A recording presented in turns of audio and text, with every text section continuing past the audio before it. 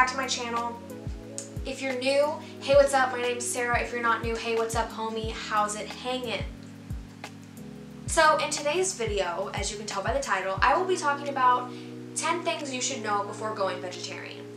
I've been a vegetarian for two years and I've learned a bunch of stuff along the way that I just thought I would share with you. So I made some notes on my phone that I think we should go over together. The very first thing is the different kinds of vegetarianism.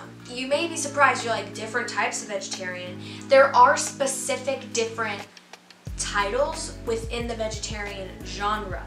For example, I am an ovo-lacto vegetarian, which means I still consume dairy and eggs, hint ovo-lacto. Some vegetarians don't eat eggs, and so they'd be lacto-vegetarians. So I didn't know those were a thing until I went on a cruise and they asked what kind of vegetarian I was. And I was like, I don't know. And we looked at the options and we found that ovo-lacto, you eat eggs and dairy.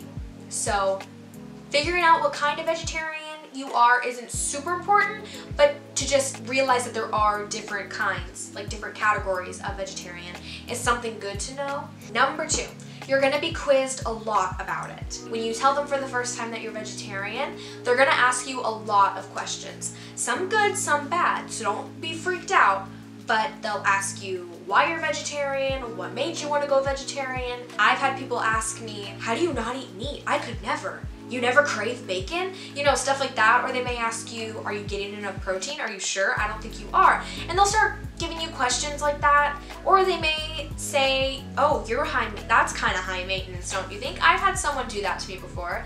They've told me that they can't be that picky, as if I'm being picky. And they may get aggressive with you if you start to explain why and your reason they offend them or it makes them think that, hey, maybe I shouldn't eat meat and they get offended just don't freak out, and I'm not saying that all people that eat meat are like that, so make sure you know why and that you're able and confident enough to talk about it. Now number three, where you can get your protein.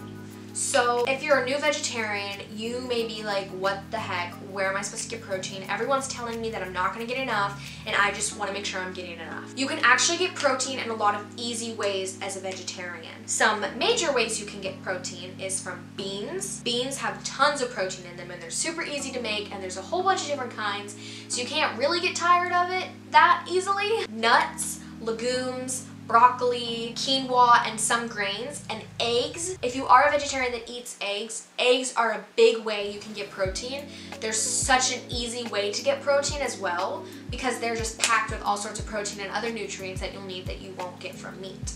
Tofu and soy are other ways you can get protein as well, um, which are the vegetarian substitutes for meat, which I'll get into some of those a little bit later. Number four, where you can get iron because as a vegetarian, you do need to make sure you're getting the vitamins that you need so that you don't become vitamin deficient in certain things and that can cause detrimental things to your health.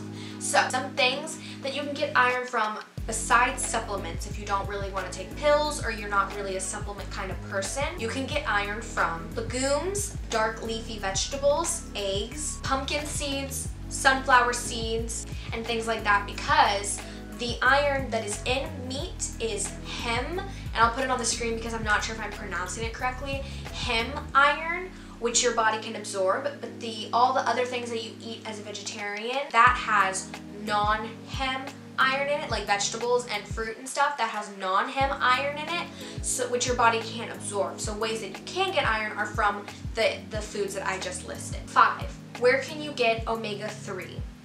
Um, Omega-3 is a vitamin that you get from eating fish and other seafood like that. There are not as many options to get omega-3s as there are for other vitamins because if you're taking fish oil, you're pretty much consuming fish. So for vegetarians who don't want to consume fish, you can eat things like chia seeds, flax seeds, hemp, which is also protein. Hemp protein also has omega-3 in it.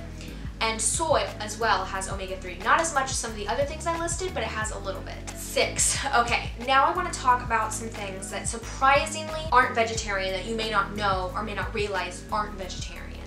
Um, so there, there have even been some things that I have realized going through my vegetarianism journey that I was like, wait, that has gelatin in it. So if you don't know what gelatin is, let me pull up the actual definition for you. Gelatin is a yellowish, odorless, and nearly tasteless substance that is made by prolonged boiling of skin, cartilage, and bones from animals. And this says we're talking about pork skins, horns, and cattle bones.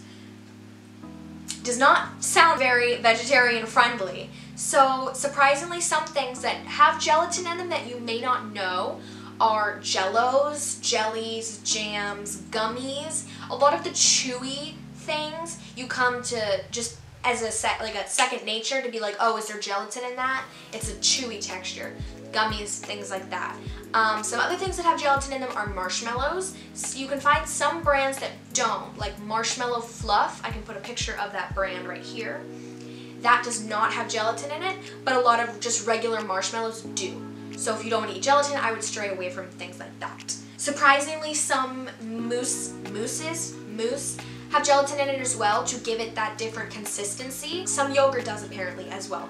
So a big thing that you come to um, start doing as a vegetarian is you look at the ingredients on any new things that you're eating or even some of the old things you used to eat when you ate meat just to make sure that you're not still consuming that stuff. And even if you are, it's okay because we're not all perfect, not all vegetarians, vegans, anybody, we're not gonna be perfect. We're gonna mess up sometimes, we're gonna accidentally eat something that has meat in it. It's bound to happen, so don't beat yourself up over it because you think other people are gonna be disappointed or hate on you for it. You might beat yourself up over it because you like ate an animal and like that goes against something that you believe. If you're vegetarian for the animals, not saying that you are. Um, but just don't beat yourself up over it because it's gonna happen, it's bound to happen, and it's okay. And one thing that many, many, many people don't know is that Caesar dressing that you put on salads has anchovies in it. So Caesar salad dressing is not vegetarian. Try if you don't eat gelatin or fish, stay away from all those things that I did mention. Number seven, don't go crazy on fake meat, okay? Fake meat is the um, substitute for real meat for vegetarians, tofu, soy. Um, the brands that I like to use are Morningstar and another one that I can't remember, but I'll put it on the screen if I can.